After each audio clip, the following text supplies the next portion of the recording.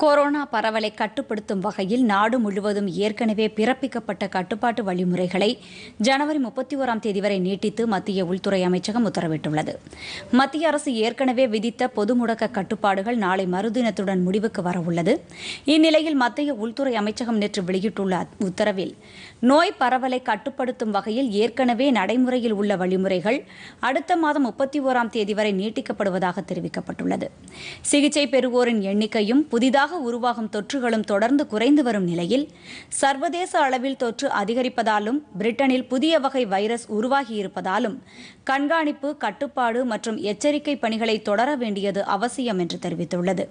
கட்டுப்பாட்டு பகுதிகளை தொடர்ந்து எச்சரிக்கையுடன் வரையறுக்க வேண்டும் என்றும் இந்த மண்டலங்களில் கட்டுப்பாட்டு நடவடிக்கைகளை தீவிரமாக பின்பற்ற வேண்டும் என்றும் அறிவுறுத்தப்பட்டுள்ளது.